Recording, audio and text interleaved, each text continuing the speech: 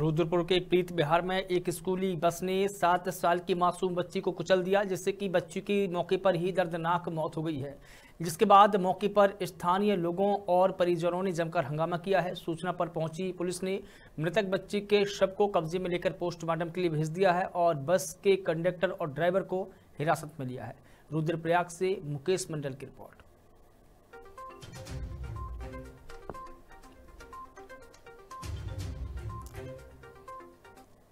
ये रुद्रपुर थाना क्षेत्र में प्रीत विहार की घटना है आज सुबह की। इसमें एक स्कूल बस थी, एक निजी स्कूल की।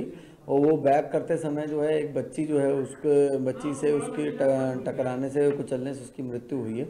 और बहुत ही दर्दनाक घटना है, हम लोग इसकी जाँच कर रहे हैं घटना की और इसमें बच्ची का भी पोस्टमार्टम और पंचायतनामा कराया जा रहा है। और साथ में वादी पक्ष जो है, उससे भी हम लोग संपर्क में हैं। इसमें अभी जैसे भी तहरीर आती है, इसमें अग्रिम कार्रवाई की जाएगी। और जो इन्वेस्टिगेशन हम लोग इसके ऑलरेडी कर रहे हैं, घटना के क्या कारण थे, भविष्य में इसकी पुनरावृत्ति ना हो, उसे कैसे रोका जाए, उस पर भी हम लोग काम कर रहे हैं। और जो स्कूल की बसेज हैं, उनका भी एक ड्राइव चेकिंग का हम लोग चला